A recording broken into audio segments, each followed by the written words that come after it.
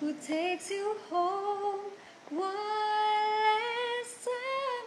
I promise after that I'll let you go.